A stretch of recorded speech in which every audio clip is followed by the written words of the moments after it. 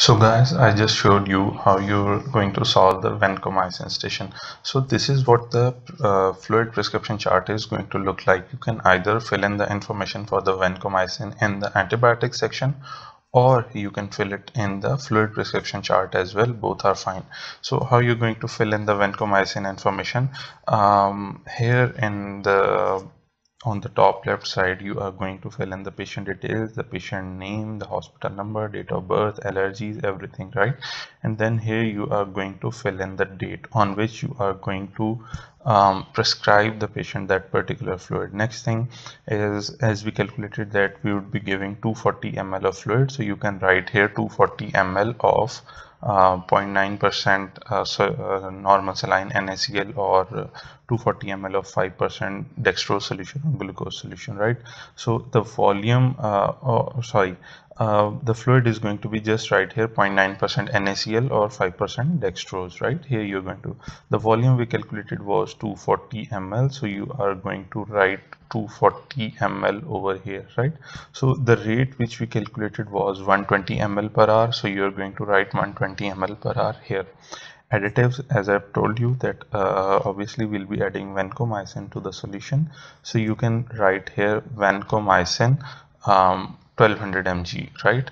Uh, 1200 mg or 1500 mg whichever you are going with both are fine right?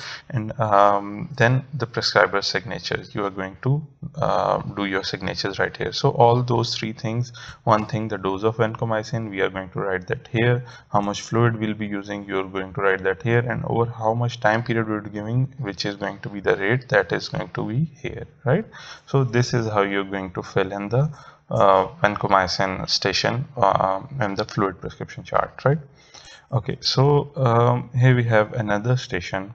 Um, you're an FY2 in OBG Miss Daniela Halifax aged 42 had her fourth delivery yesterday. She has lost 1200 ml of blood. Okay so the information we have been provided is she is 42 years old. This was her fourth delivery and she has lost 1200 ml of blood. Okay no known allergy all right. She has been diagnosed uh, she does not has any past medical history. Her weight is 60 kg. Do dvt risk assessment and write down the anticoagulant according to the weight. All right so let's solve this station as to how you're going to solve this and fill in the details. So this is the chart which you will be provided in the exam. This chart is going to be provided to you in the exam. So on the top left side we, we can see that obstetric thromboprophylaxis uh, we were told that our patient has already delivered. So this is not going to be an obstetric uh, we are not going to use this information on the left side but on the right side it says postnatal assessment. So our patient has already delivered. They are going to be um, postnatal. So let us look at the postnatal assessment and um, zoom zoom this thing right? So let us start from the top.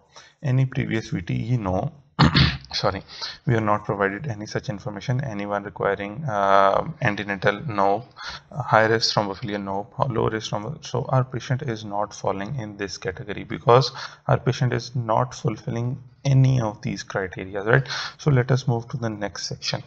Um, cesarean section in labor right yeah uh, our patient did have uh, what about BMI we are not told about BMI readmission or prolonged admission? No we are not told about this. Any surgical procedure um, we are not told about this as well. So medical comorbidities um, we are told that the patient does not have any past medical history. So um, this section is also excluded. Let's move on to the next station. The age was 42 the patient's age is 35 all right. The patient is fulfilling one criteria right? So the parity is greater than 3 this was her fourth delivery the patient is fulfilling fulfilling this criteria as well the next thing was smoker elective cesarean family history low risk. We are we do not have any information about these things except this one. Down below here it says postpartum hemorrhage greater than 1 liter right? So we are told that our patient has 1200 ml of fluid loss. So our patient is fulfilling three criteria age 35 parity greater than 3 and pph 1 liter right? So it says fewer than two risk factors low risk. You just need to mobilize the patient and avoid dehydration right? But our patient has more than two risk factor. More than two risk factor it says you have to go up to um, let us look at the previous picture. It says two or more risk factor you have to follow the immediate risk assessment right? Intermediate risk assessment sorry. So what does intermediate risk assessment say? It says at least 10 days postnatal prophylactic lower molecular weight heparin right? So we have to give our patient lower molecular weight hep uh, weight heparin for 10 days. So how much heparin are we going to give um, weight is less than 50 kg 20 so our patient's weight was 62 kg right? Our patient's weight was 60 kg sorry 60 kg so our patient is falling under this category 50 to 90 kg. So this is the amount of anticoagulant we are going to give.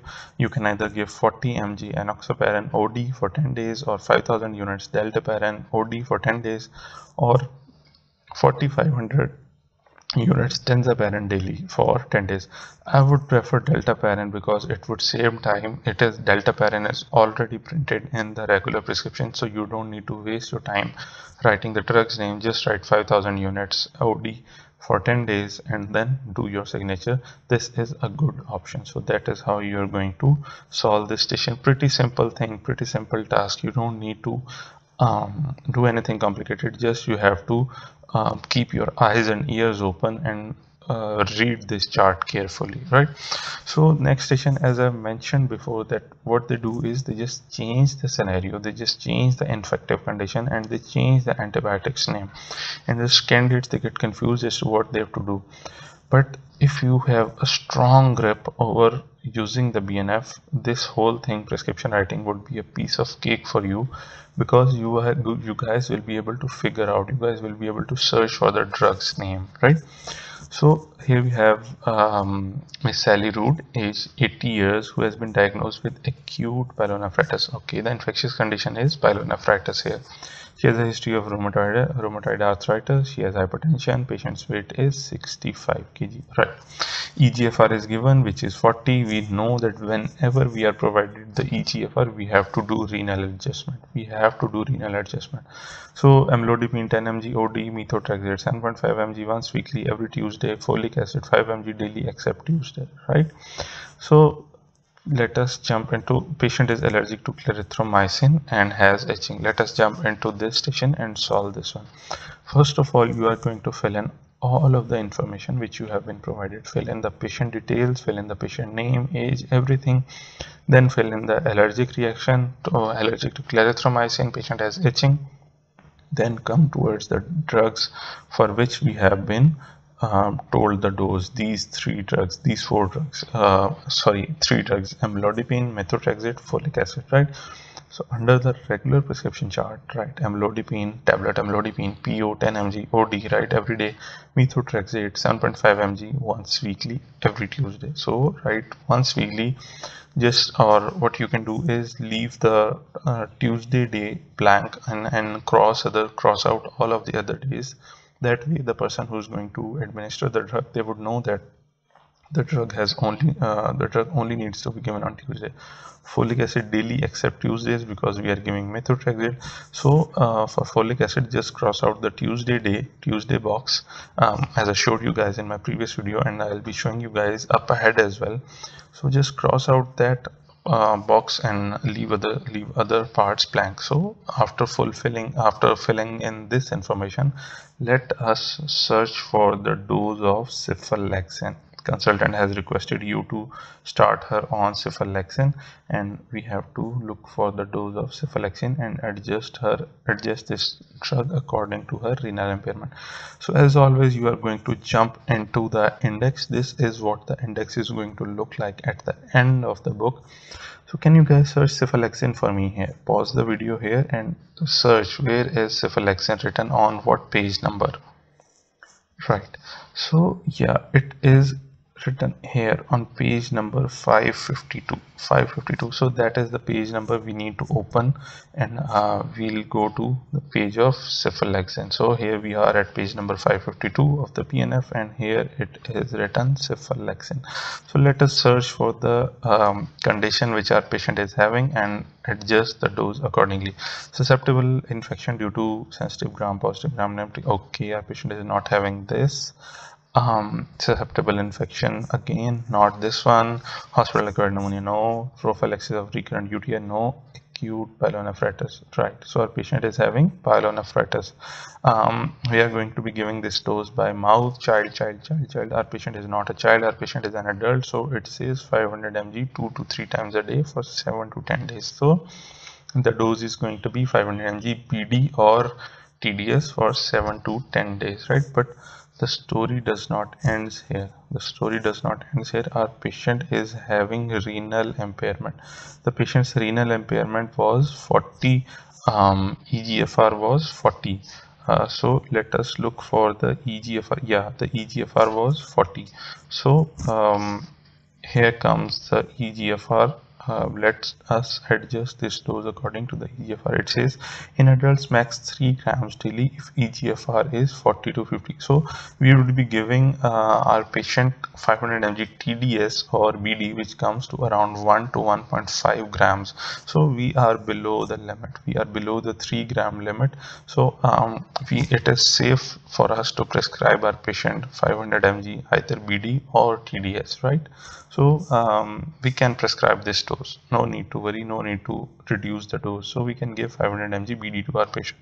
Here is the key. It says 500 mg two to three times a day um, for 7 to 10 days. That is going to be the dose for cephalexin. Alright so here we have the next station. Um, you are an fy you are an fy2 in medicine mrs hannah knowles age um, 60 so all right. Has been admitted to the hospital because of breathlessness. Okay she was diagnosed with pulmonary embolism. She was managed in the hospital. She is diagnosed case of hypercholesterolemia. All right she had a long haul flight for 10 days. She was prescribed the following medication apixaban for 6 months. Atorvastatin 20 mg od aspirin 75 mg od egfr is 87 we have been provided the egfr we need to do renal adjustment as well.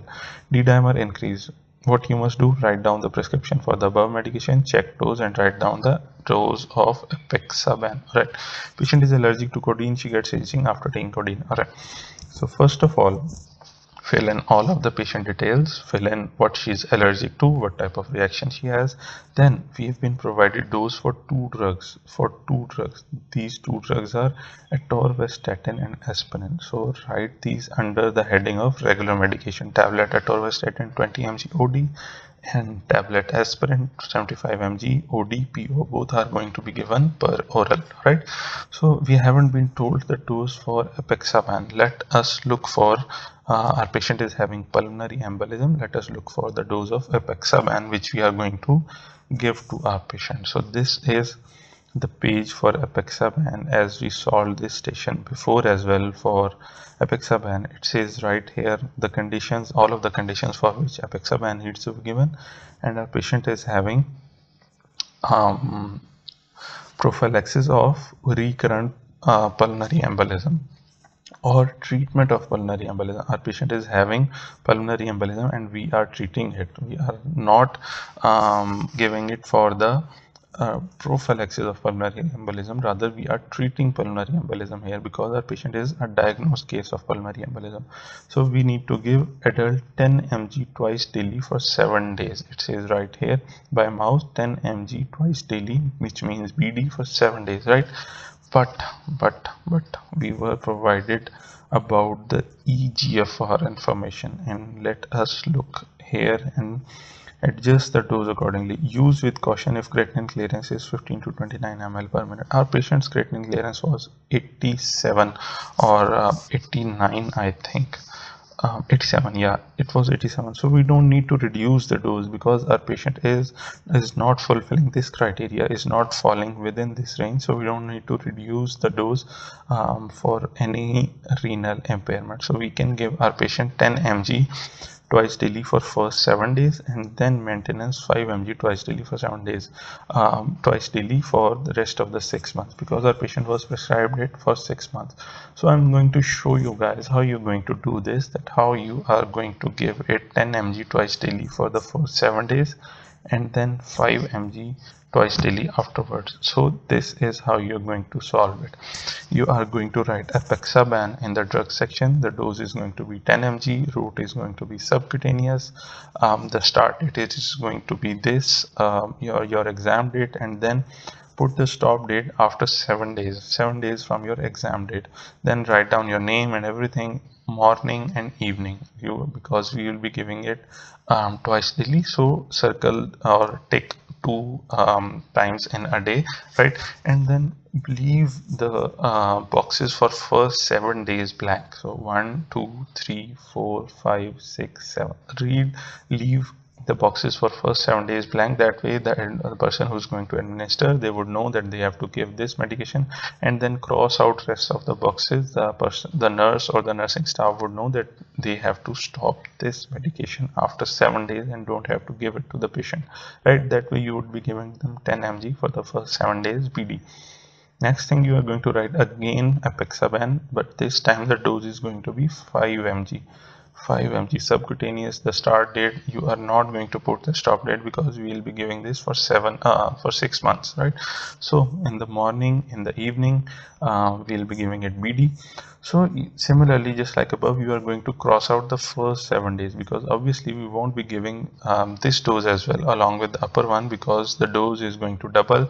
So we'll just cross out the first seven days. After the first seven days you are going to leave it blank like this. That way the nursing staff would know that they don't have to give it for the first seven days and they have to start um, administering this drug once um, the 10 mg dose is over right so that is how you're going to write apixaban right all right so um, you're in FY2 in hospice care home. Uh, Mrs. Victoria Yates, age 80, is diagnosed with metastatic pancreatic cancer. All right.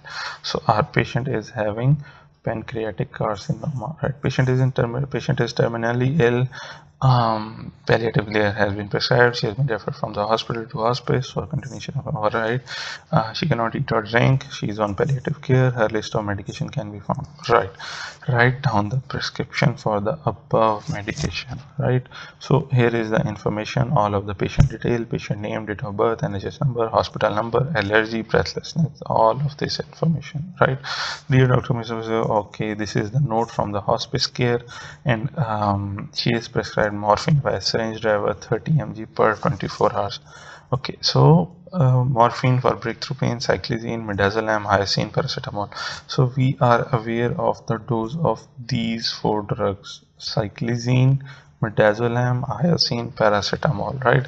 For morphine we have been provided the information that he is using 30 mg od in the uh, 30 mg in 24 hours and we have to give her morphine for breakthrough pain as well. So first of all you are going to fill in all of the patient details the name age everything the allergic um, what she's allergic to what type of reaction everything. After filling in this information fill in the drugs for which you have been provided the information for which the dose is provided. You are going to fill in these um, drugs first. So cyclizine midazolam hyoscine paracetamol. I'm just going to show you guys in a minute how you're going to do that. Then um, once you're done doing that then you are going to look for um, the breakthrough dose of morphine. I will show you guys how you are going to do that. So this is how you will be filling morphine um, for pain 2.5 mg 4 hourly um, uh, we were told that the total dose was 30 mg. So if we give it uh, 2.5 mg six times a day um, the dose is going to be 15 mg yeah 15 mg so what we can do is uh, our patient is having uh, 30 mg so we can increase the dose. The dose this dose is going to be this is a mistake here. This dose is going to be 5 mg subcutaneous 4 hourly that way the total dose is going to be 30 mg so you are going to write 30 mg total dose right here. Instead of writing 2.5 mg you will write 5 mg adjust it according to the total dose. This this is plain simple mathematics. You are just going to multiply the dose of a single shot by the duration and then you will get the total dose. So the total dose was 30 mg you are going to write here 30 mg um, so and the frequency is 4 hourly you are going to write 4 hourly and the single dose of single shot is going to be 5 mg so obviously we'll be giving it six times a day 5 into 6 would come equal to would become equal to 30 so we'll write 5 mg for a single dose. This is how the how they trick the candidates that uh, they just change the total dose of um, the drug. So that is why I always recommend my students to not uh, do rote learning rather do concept learning and learn how to fill a station right? So even if they change the total dose you guys would know how to fill in this information. Cyclizine we are provided the information 50 mg subcutaneous tds total dose. Obviously we're giving it three times a day and the total dose would come to 150 so we just we don't just have to write um, the drug's name we have to write the indication as well. Nausea vomiting agitation secretion. We have to write the indication as well that as to we are giving it for vomiting for agitation for secretions right? So pause the video here and have a look at all of these drugs as to how you're going to fill it. So we have prescribed our patient morphine cyclizine midazolam hyoscine bromide right? So i'm going to show you guys now how you're going to fill in morphine for breakthrough pain breakthrough pain. First of all let us um, learn what breakthrough pain is. Breakthrough pain is that for example if you are giving a patient a total of 30 mg in 24 hours and still our patient is in pain their pain is still not controlled. You are giving them 5 mg morphine every 4 hours still their pain is not controlled then how much morphine do you need to give to control their pain? So this is a table from um, BNF prescribing and palliative care um, this is a table of conversions from oral morphine to subcutaneous to subcutaneous infusion of morphine. Um, but it says down below here if breakthrough pain occurs give a subcutaneous or intramuscular injection equivalent to one tenth or one sixth of the total 24 hour subcutaneous infusion dose right? So one tenth is easier it is easier to divide uh, it is easier to calculate one tenth the total dose of our patient was 30 mg for 24 hours. Uh, one tenth is obviously going to be 3 mg 3 mg right? So this is how you're going to calculate the breakthrough dose and you can write it in the as required um, station. You can write there that um, our patient um, you can write morphine subcutaneous 3 mg PRN or as required and then um, the indication you can write breakthrough pain right? So this is how you're going to do this breakthrough pain station. Okay so um, we have this station here drug interaction lithium um, you're an FY2 in psychiatry ward. Mr. Robert Washington, age 50, has hurt his ankle and is in severe pain. He was diagnosed with COPD. Regular medication ipratropium bromide to 20 to 40 mg microgram uh, 1 to 2 puffs BD. This is an inhaler which we need to give atorvastatin 20 mg POD, then lithium, right? Nurse has asked to you to give ibuprofen for 400 mg BD, right? Patient is allergic to penicillin. After taking penicillin, develop rash. There are some special notes. Ibuprofen increases concentration of lithium. Both lithium and tramadol can increase the risk of serotonin syndrome. Salbutamol and cell salmeterol is predicted to cause hypokalemia right? Uh, when given with lithium. So we um, uh, we are not giving our patient any tramadol um, but um, let us solve this station. Let us solve this station. So you are going to fill in all of the patient details first. Then you are going to fill in the details which you have been provided. We have been provided that uh, our patient is taking ipratropium. You are going to fill it in the regular uh, medication chart. Ipratropium bromide um, either 20 mg 20 micrograms or 40 micrograms. You can write 1 to 2 puffs bd you can just write one puff or you can write two puffs and then write bd next thing you need to write atorvastatin 20 mg POD just like we've been doing before. The lithium dose is not provided here but uh, most likely I think this station is incomplete and the lithium dose will be provided to you. But if it is not provided you guys can search it up in the BNF it is really very easy. Usually it is the starting dose is 1 to 1.5 grams OD per day and then it is adjusted uh, after checking the lithium concentration after monitoring the lithium concentration and then it is adjusted accordingly. But hopefully you guys won't have to look for um, the lithium dose in the exam because it will all uh, it will be provided to you. But if it is not provided you guys should be ready um, to fill in the lithium dose as well right? So um, next thing is we need to prescribe them a painkiller a painkiller um, if they ask you to uh, give the patient salmeterol as well salmeterol inhaler you have to fill in additional information that monitor potassium concentration. Monitor potassium concentration because it causes hypokalemia when given with lithium. So in the additional notes write down um, to monitor potassium um, concentration. Next thing is we know that uh, we can't give NSAIDs along with lithium so the safest drug to give at this point is paracetamol. Paracetamol the safest drug of all. Uh, we are not going to give ibuprofen because the um, it causes interaction with the lithium. So we'll be giving paracetamol. So how much paracetamol are you going to give? Usual dose of paracetamol is 1 grams. So you can write it under the as required section um, you can write 1 gram when required or SOS right? PO or IV it is up to you doesn't matter right? Or you can write it in the regular medication as well. You can write um, paracetamol um, 1 gram TDS you can write that as well. No, um, both are fine. You can either write it in the um, regular medication chart as well. You can write it in the as required section as well. So it is not a big deal right? So that is how you are you guys will be solving this station 2 uh, you guys are not going to fulfill the ibuprofen section but uh, you will be fulfilling uh, you will be writing um, paracetamol instead of this okay? So here are a few examples. I solved all of the stations and I uh, calculated I looked up in the BNF for the doses of each drug.